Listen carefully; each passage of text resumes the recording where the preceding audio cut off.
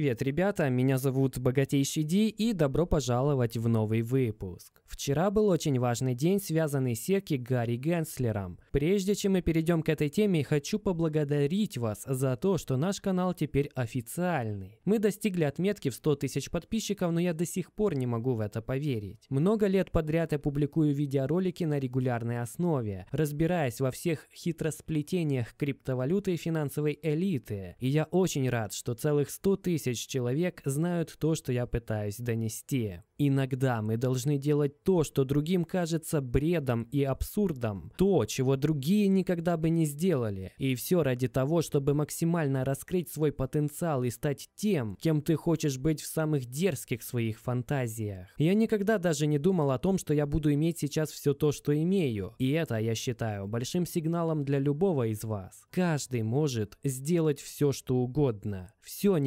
невозможное возможно. Я просто никто. Я просто человек, который однажды решил сделать хоть что-нибудь. И сейчас я хочу, чтобы вы сделали хоть что-нибудь. На этой ноте давайте перейдем к Гэри Генслеру, потому что на этом слушании было очень много важных для мира криптовалюты цифровых активов моментов, о которых ты должен знать. Это видео получилось длинным, но самое интересное будет во второй его части, где адвокат, связанный с Ripple, прокомментирует каждый важный момент и слушания по поводу назначения Гэри Генслера на пост председателя комиссии SEC.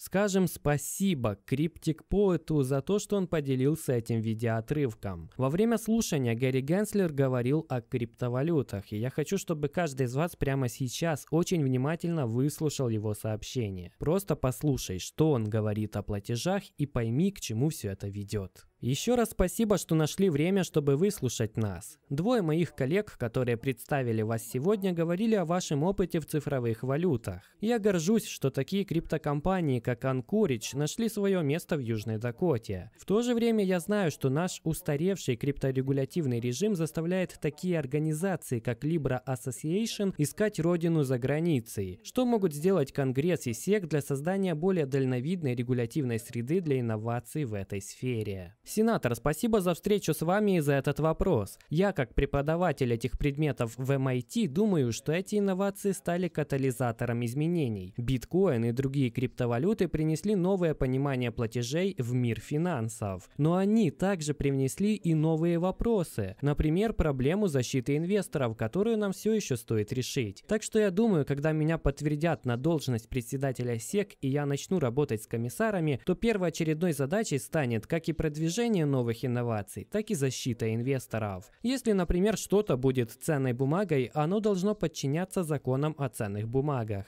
Если есть биржи, которые торгуют ими, нужно убедиться, что у них есть необходимые способы защиты инвесторов в эти ценные бумаги. Так что и продвигать технологии, и защищать инвесторов – это то, что мы будем делать. Друзья, что мы только что услышали из уст самого Гэри Генслера, предположительно будущего председателя комиссии по ценным бумагам и биржам США SEC. И я думаю, он такие не станет, потому что других кандидатур просто-напросто нет. Он фактически сказал, что мы собираемся революционизировать систему платежей. Он сказал, что он будет помогать инновациям внедряться быстрее, но также и избавляться от устаревшего бреда, которым сейчас нас кормит система. Когда он говорит о защите инвестора, это означает, что он готов избавиться от чуши, которую устаревший крипторегулятивный режим транслирует в наше пространство. Теперь послушай его еще раз и еще раз. Ты слышишь то же, что и я слышал. Гэри Генслер говорит о том, что криптовалюты, отвечающие требованиям, выживут живут. А что это значит? Это значит, что остальные канут в лету. И случится это тогда, когда регулятивная ясность четко и конкретно наступит. Я думаю, именно в тот момент большая часть криптопортфеля должна заключаться в биткоине. Я не думал, что это так неочевидно и нахожу странным подчеркивать это, но оказывается да. Многие люди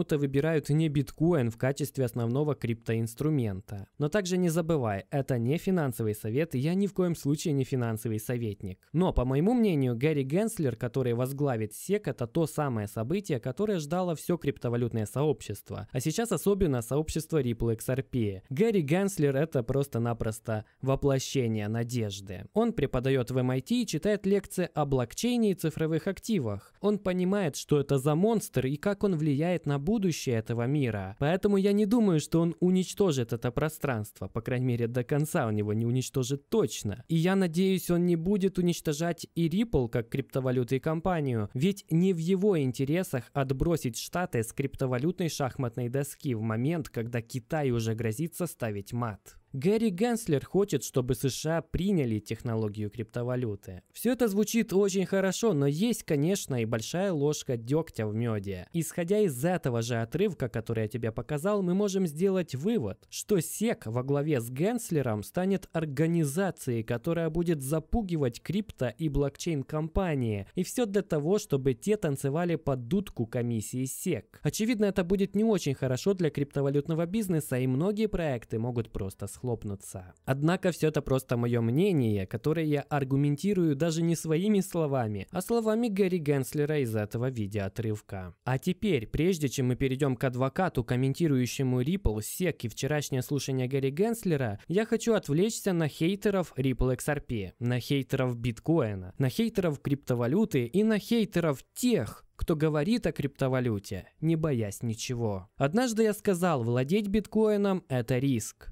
Но не владеть биткоином риск еще больше. Мы можем предположить, что биткоин, эфириум, Ripple XRP могут пойти ко дну и стоить не больше нуля. Но это лишь предположение. Что мы знаем наверняка, что любая фиатная валюта всегда обесценивается, всегда заканчивается лишь одним – смертью в гиперинфляционной агонии. Именно поэтому владеть хотя бы небольшой частью биткоина или другой криптовалюты лучше, чем не владеть вовсе. Иногда я думаю, сейчас так просто многим людям разбогатеть, всего лишь перестать быть эмоциональным. На днях я общался с человеком, чье богатство исчисляется семью нолями после запятой. Лет восемь назад он заработал на биткоине целое богатство, но также терял немало на той или иной криптовалюте. И что? А в комментариях тем временем есть люди с сотней XRP, которые пишут всякие гадости, возмущения и обвинения, так будто эти 100 XRP должны были сделать их богатыми уже вчера. Я хочу сказать им, владеть хотя бы частью биткоина, хотя бы частью эфириума, хотя бы сотней XRP намного лучше, чем чем вообще этого не иметь. Лучше владеть криптовалютой, чем не владеть. Но к чему я веду? Иногда громче и агрессивнее всех возмущаются те, кто рисковал меньше всех инвестировал меньше всех и провел расследований в этой сфере меньше всех. Вот так это все и работает. Я скажу, когда становится совсем не в моготу, когда финал уже близко. Я скажу, когда хочется все бросить и уйти, когда награда за труды уже совсем рядом. А теперь я хочу перейти к основным моментам из слушания Гэри Генслера с комментариями от адвоката, связанного с Ripple. Я сразу же хочу предупредить, он не столь позитивно настроен, но тем не менее и такое мнение мнение имеет место быть, тем более профессиональное.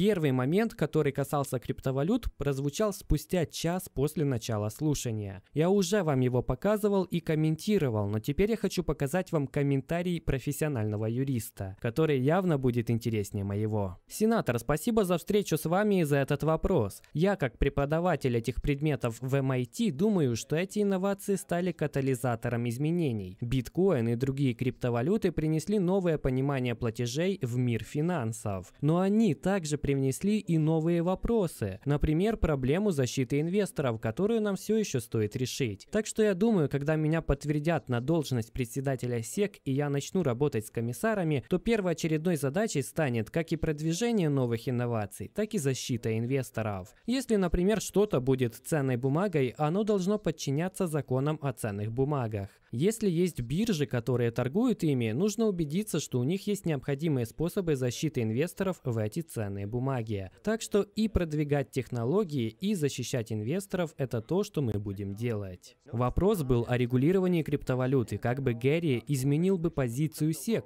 чтобы предотвратить побег криптовалютных компаний из США в другие страны. И как ответил Генслер – Банально. Мы будем работать, чтобы развивать технологии, но затем рассказал о том, что он собирается защищать инвесторов от компаний и от криптовалютных бирж. Защита инвесторов – это хорошо, до тех пор, пока вы не защищаете отрасль так, что она исчезает, и тогда у вас больше нет инвесторов, которых нужно защищать. Хм, логично, тебе не нужно защищать инвесторов, если их нет. Годно, годно. Итак, перейдем ко второму моменту касаемо цифровых активов, который случился на втором часу слушания. Сам адвокат говорит, что это самый важный момент, самый важный отрывок. Поэтому послушай его внимательно и попробуй понять сквозь строки, что нам хочет донести Генслер. Не могли бы вы поделиться своим видением и вашим подходом к цифровым активам, если вы станете председателем комиссии по ценным бумагам и биржам США? Что ж, сенатор, я разделяю ваши мысли. Всегда важно держать рынки открытыми к новым технологиям. Но я верю, что прежде всего нужно быть технологически нейтральным. И я говорю это потому, что с появлением новых технологий, криптовалют и потенциально цифровых валют центральных банков, мы все равно не должны забыть о принципах защиты инвесторов и формирования капитала оставаясь при этом технологически нейтральными. Если кто-то предлагает инвестиционный контракт или ценную бумагу и есть какая-то биржа, которая работает с этим, то мы должны убедиться, что эти принципы там соблюдаются. Если же это какой-то товар или комодити, как биткоин, например, то это уже вопрос не к нам, а к Конгрессу, как он хочет его регулировать. А может этим должна заняться комиссия по торговле товарными фьючерсами. Ребята, я вставлю свое слово, биткоин он не считает ценной бумагой. Поэтому это уже хорошо. Принять технологически нейтральное регулирование. Что означает технологически нейтральный в его понимании? Это значит, что он и его организация собираются трактовать блокчейн и децентрализованные реестры точно так же, как и любую другую компанию или ценную бумагу. Что Гэри не допустит никакой свободы действий для токенов или монет. Что для Генслера токен XRP абсолютно то же самое, что и 10 акций сертификатов, которые ваш дед хранил в ящике для носков. Но, мистер Генслер, как же насчет этой замечательной новой технологии, о которой вы взахлеб рассказываете? Мы проигрываем эту криптогонку другим странам. Есть же изменения, которые вы легко можете принести в СЕК и помочь технологиям расцвести прямо в Соединенных Штатах. В Вайоминге уже так и сделали, и посмотрите, что случилось. Ripple уже зарегистрировалась как компания в Вайоминге. А вот и сенатор оттуда тоже задает вопросы на слушании Генслера. Некоторые говорят о том, что СЕК имеет репутацию черной дыры для инноваций. Вы согласны, что нужно обеспечить большую юридическую ясность за счет новых правил и отмены принудительных действий против новаторов в области цифровых активов? Так, подожди. Вайоминг. Респект. Светлый луч надежды в темном царстве Соединенных Штатах. Может, мы эту сенаторшу сделаем председателем СЕК вместо Гарри Генслера? Мне кажется, это очень неплохая идея. Продолжаем. Вы согласны, что нужно обеспечить большую юридическую ясность за счет новых правил и отмены принудительных действий против новаторов в области цифровых активов и индустрии блокчейна? Я считаю, рынки технологий постоянно меняются и развиваются. И поэтому очень важно для SEC обеспечивать регулятивную ясность. И иногда эта ясность только в плюс. Но даже если нет, она все равно важна и необходима. Я не знаю, в курсе вы или нет, но Вайоминг первым в США принял меры по защите прав потребителей, включая законы о цифровых активах и виртуальных валютах. Это уже произошло в 2019. Как мы с вами можем работать вместе, чтобы убедиться, что защищаем потребителей цифровых активов, одновременно не мешая развиваться инновациям? Я знаю, что ваши законодатели и губернатор приняли что-то около 13 законов о цифровых активах в Вайоминге. Я думаю, важно защищать потребителей и инвесторов. Это касается и о том, как хранить их цифровые активы. Как они там говорят, вы владеете криптовалютой, если знаете приватные ключи. Это и гарантирует хранение. Но защита инвестора выходит за рамки просто хранения активов, но также подразумевает очищение рынков от мошенничества и манипуляций. Итак, опять нет ответа на то, как он собирается помогать блокчейн-компаниям. Отнекивается каким-то регулированием якобы для защиты инвесторов. Скажите, вы сейчас чувствуете себя защищенными комиссией SEC?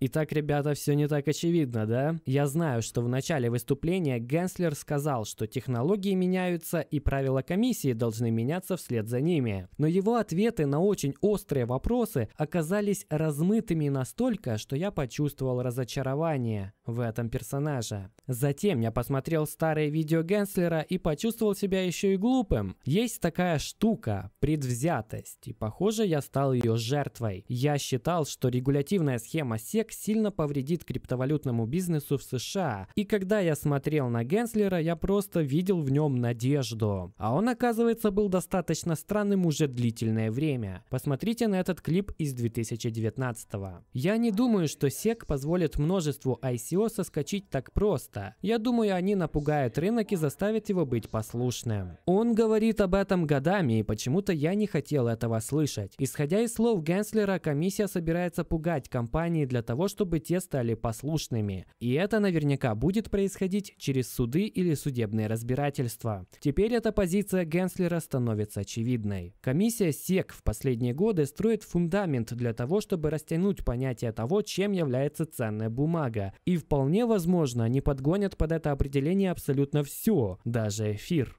Почему я так думаю? Когда Гарри Генслер выделил биткоин, который, по его словам, не является ценной бумагой, он не сказал про эфириум ни слова. Хотя обычно SEC приводит в пример того, что и биткоин, и эфириум не являются ценными бумагами. Это странно. Если же это какой-то товар или комодити, как биткоин, например, и эта позиция Генслера идеально совпадает с тем, что опубликовала сама комиссия несколько дней назад. О чем я рассказал в крайнем своем видео. Я вставлю отрывок из него сюда. Если ты не видел, обязательно посмотри. Давайте посмотрим, что же это за предупреждение такое нам прислала СЕК. Оно называется «Подразделение исследования комиссии продолжает фокусироваться на цифровых активах».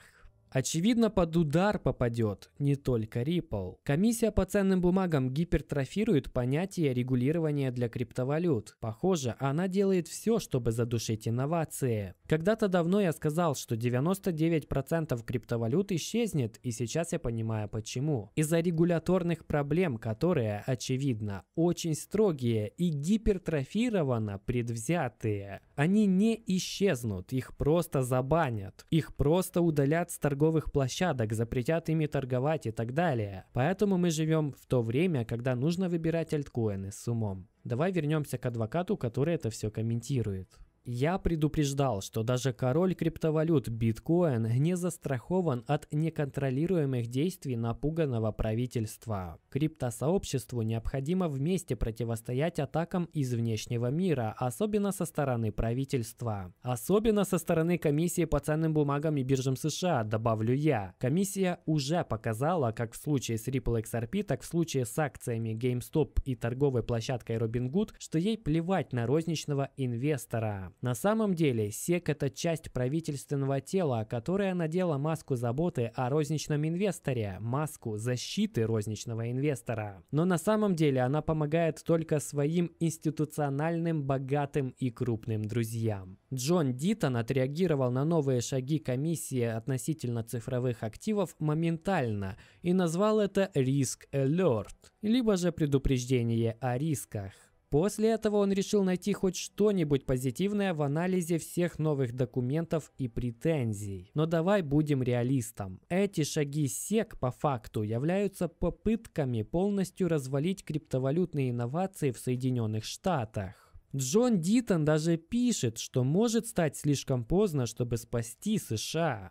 В таком случае роль лидера развития криптопространства без сомнений возьмет на себя Китай. Только заядлому скептику теперь не очевидно, что суд против Ripple, Брэда Гарденхауса и Криса Ларсина – это сигнал, что SEC идет за всеми остальными. Им явно не нравится, как принятие криптовалют занимает передовое место и создает такое количество миллионеров из народа. Некоторые из вас наверняка подумали, что Джон Дитон параноик и паникер, актер. Удели всего 20 минут и прочитай это предупреждение полностью. Его я оставлю у себя в Телеграме, а ссылка на Телеграм будет в описании. Джон Дитон же выделил несколько моментов, которые нам нужно знать. Давайте начнем с первого. Этот момент разоружает всех противников СЕК, но саму СЕК делает недосягаемой. Я даже не знаю, как это описать или назвать. Чтобы понять, о чем я, тебе даже не нужно читать все заявление SEC. Далее цитата. Это заявление СЕК отражает точку зрения сотрудников отдела расследований СЕК. Это не правило, не постановление и не официальное объявление СЕК. Комиссия не одобрила его, но и не отклонила его содержание. Это заявление, как и все инструкции, не имеет юридической силы или действия. Оно не вносит поправки в действующее законодательство и не создает никаких новых или дополнительных обязательств. И Джон Дитон задает себе вопрос, что это значит. И сейчас он расскажет нам, что это означает. Это означает, что мы никогда не можем и не сможем полагаться на заявление и использовать информацию из этого заявления. Мы даже не сможем использовать ее против SEC. Зато сама SEC легко может использовать его против криптовалюты и нас. Теперь комиссия может заявить, что она публично предупреждала цифровые активы о том или ином, и после этого абсолютно законно подать иск против любого лица, бизнеса, группы или организации, которая связана с криптой или цифровыми активами активами. Это так называемое предупреждение о рисках охватывает практически все категории криптовалют и категории потенциальных инвесторов.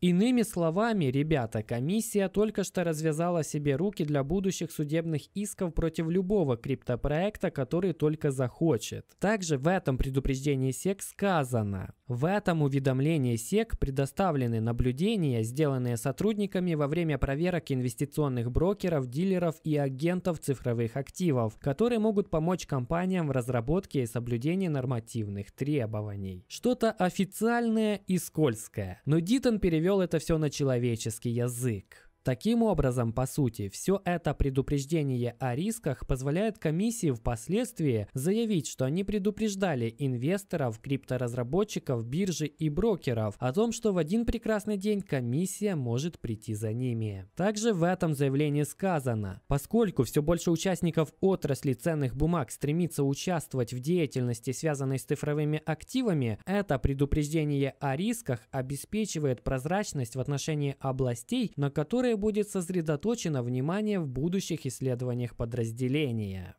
Ребята, вы заметили эту несостыковку? Они говорят, что все это заявление не имеет юридической силы, но одновременно обеспечивает прозрачность в областях, на которые будет сосредоточено их внимание. Практически прямым текстом комиссия говорит, в будущем мы возьмемся за криптовалютные проекты плотнее, так как к ним растет интерес участников рынка ценных бумаг. И меры, которые они будут предпринимать, поверь мне, будут только лишь принудительными. Однако, это же не означает, что SEC будет преследовать все цифровые активы и криптовалюты, не так ли? Давай посмотрим еще один отрывок из заявления. Цифровые активы в основном работают на программном обеспечении в сети, которая поддерживает этот блокчейн и учитывает у кого сколько цифровых активов. Понятие форк означает изменение протокола, несовместимые с основной сетью. Форк создает новый цифровой актив. Понятие airdrop означает распределение цифровых активов на многочисленные кошельки, обычно бесплатно для получателя, либо же на каких-то условиях, рекламных или других. Ну и что? А то, что комиссия СЕК прямо говорит, под их прицелом будут абсолютно все активы, в том числе аирдропы и форки. СЕК прямо об этом предупредила. Но самое шокирующее и лицемерное заявление еще впереди. Цитата. Подразделение СЕК понимает, что по мере продолжения финансовых инноваций у участников рынка могут возникать вопросы касательно их нормативных обязательств. Дитон возмущенно пишет. Вы что, блин, издеваетесь? Не это ли то, что сделали Coinbase и остальные биржи в 2019 году, когда сообщили SEC, что собирается залистить XRP на торговых площадках и хотели удостовериться, что SEC не считает XRP ценной бумагой? Тогда SEC не дала никому никаких указаний и разрешила биржам разместить XRP для торговли в 2019 году, только для того, чтобы спустя год подать в суд на Ripple и фактически на всех холдеров XRP.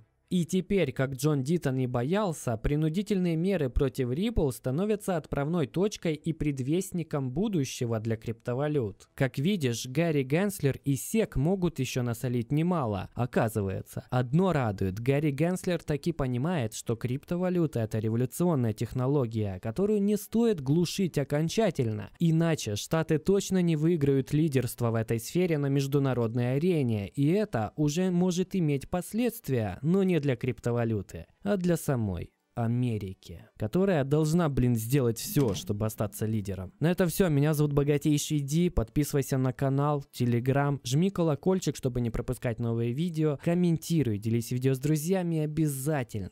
Богатей. До скорого.